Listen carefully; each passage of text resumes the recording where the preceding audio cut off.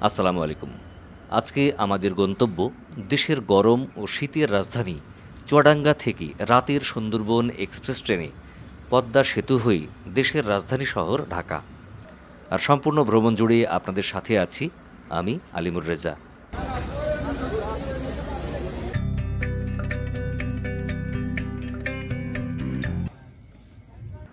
Chuadanga rail station থেকে শুরু হচ্ছে আমাদের এবারের যাত্রা। গরমকালে অসহনীয় গরম সাথে প্রবাহিত হয় লু হাওয়া। ধারাবাহিকভাবে ধরে রাখে দেশের সর্বোচ্চ তাপমাত্রার রেকর্ড। আর শীতকালে কনকনে শীত, সাথে হিমেল হাওয়া। সর্বনিম্ন তাপমাত্রার রেকর্ড ধরে রাখে এই চড়াঙ্গা। তাই তো আমি বলি, দেশের শীত ও গরমের রাজধানী এই চড়াঙ্গা। গত উনত্রিশে এপ্রিল দেশের সর্বোচ্চ তাপমাত্রার রেকর্ড ছিল তেতাল্লিশ ডিগ্রি সেলসিয়াস এই চড়াঙ্গাতে, যা কিনা গত উনত্রিশ বছরের মধ্যে সর্বোচ্চ। আর এই তেতাল্লিশ ডিগ্রি তাপমাত্রার শহর থেকে আজকে আমাদের গন্তব্য ঢাকা। যাত্রার বাহন হিসেবে থাকবে সুন্দরবন এক্সপ্রেস ট্রেন।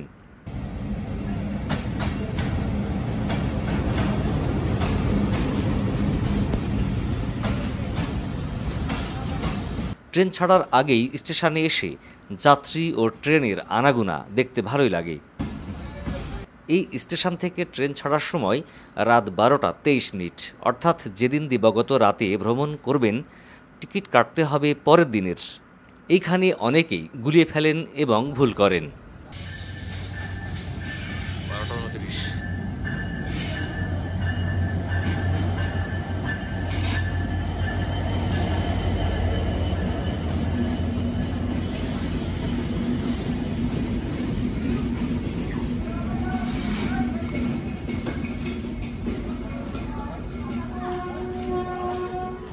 পদ্মা সেতু চালু হবার পরে এই রুটের সকল ট্রেন সঠিক সময়ে যাতায়াত করে। রাত বারোটা তেইশ মিনিটের ট্রেন এসে পৌঁছালো রাত বারোটা আটাশ মিনিটেই। আবার সঠিক সময়ে যাত্রা শুরু করল গন্তব্যে। আমার সিট টবগির এগারো নম্বর ও জানালার পাশে। ট্রেন অনেকটাই ফাঁকা। ট্রেনের সকল সিটগুলো ধুলোবালিতে ভরা। মনে হচ্ছে কেউ যেন বালি ছিটিয়ে রেখেছে। প্রচণ্ড গরমে চারিপাশ উত্তপ্ত। বাতাসের সাথে গরম আর ধুলাবালি উঠছে। ট্রেন ছোটার সাথে সাথে দুর্বার গতিতে ধুলোময় হচ্ছে ট্রেন। এই গরমে নন এসিতে ভ্রমণ যতটুকু সম্ভব এড়িয়ে চলতে হবে। আর ভ্রমণে বাধ্য হলে অবশ্যই মুখে মাস্ক, চোখে চশমা এবং মাথায় ক্যাপ পরতে হবে।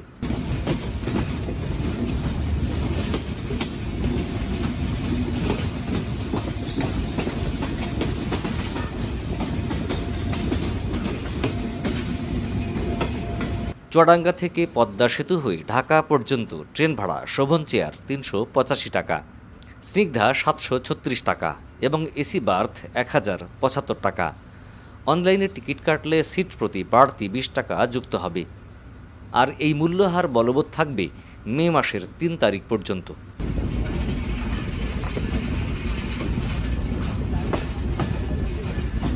আর মে মাসের চার তারিখ থেকে এই রুটে কার্যকর হচ্ছে ট্রেনের বাড়তি ভাড়া। নতুন বর্ধিত ভাড়ার হার হচ্ছে শোভন চেয়ার চারশো পঁয়ষট্টি টাকা, স্নিগ্ধা আটশো ছিয়াশি টাকা এবং এসি বার্থ পনেরোশো তিরানব্বই টাকা। অনলাইনে টিকিট কাটলে সিট প্রতি বাড়তি বিশ টাকা যুক্ত হবে।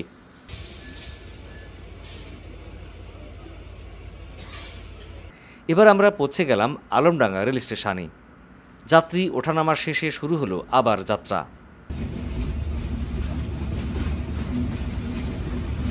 তবে আগামী জুলাই মাস থেকে এই ভাড়া ও সময়সূচি সবই ওলটপালট হয়ে যাবে। অনেক ট্রেন বাতিল হবে, আবার কিছু ট্রেন যুক্ত হবে এই রুটে। ঢাকা, খুলনা, ঢাকা, যশোর সরাসরি ট্রেন চালু হবে, আর আমরা বঞ্চিত হব অনেক ক্ষেত্রেই। তবুও দেখা যাক।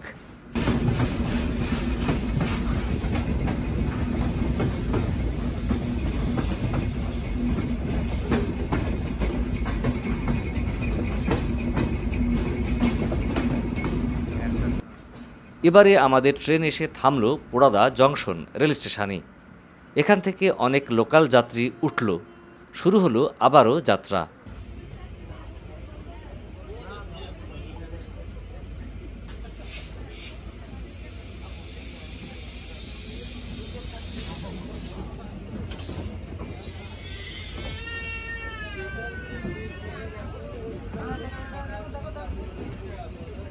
এবারের গন্তব্য কুষ্টিয়া কোর্ট রেল স্টেশন। এই স্টেশনে দেখি যাত্রীতে ঠাসা। এখান থেকে এত পরিমাণ যাত্রী উঠল যে, ট্রেনের সকল খালি আসনগুলি নিমিষেই ভরে গেল।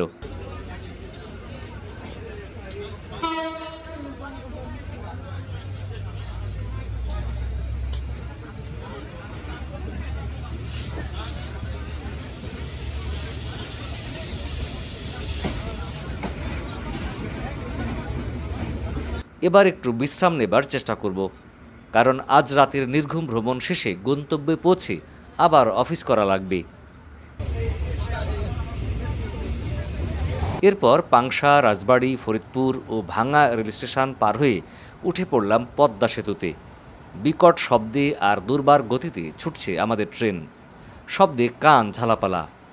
চোখ বুঝে ঘুমিয়ে নেবার উপায়ও নেই। অবশেষে সকাল হলো। আমাদের ট্রেন প্রবেশ করল রাজধানী শহরে। শহরের ধুলাবালি, বড় বড় ভবন, পাড়ি দিয়ে এগিয়ে যাচ্ছি আমরা।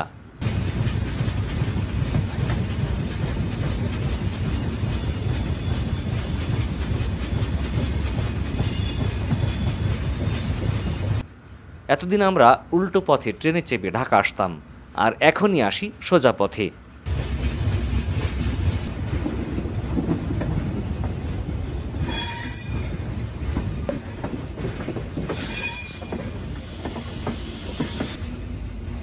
ঠিক সকাল পাঁচটা তিরিশ মিনিটে আমাদের ট্রেন এসে পৌঁছালো ঢাকার কমলাপুর রেল স্টেশনে। আমাদের এই যাত্রাপথে মোট সময় লাগল মাত্র পাঁচ ঘণ্টা। নিরাপদে ও সঠিক সময় গন্তব্যে পৌঁছালাম তাই আলহামদুলিল্লাহ। বন্ধুরা, আজ বিদায় নিচ্ছি। দেখা হবে পরবর্তীতে আবার অন্য কোনো স্থানে। ততদিন ভালো থাকবেন। যারা ফেসবুকে আমাদের ভিডিও দেখছেন, ভিডিও ভালো লাগলে শেয়ার করতে ভুলবেন না। আল্লাহ হাফিজ। আসসালামু আলাইকুম।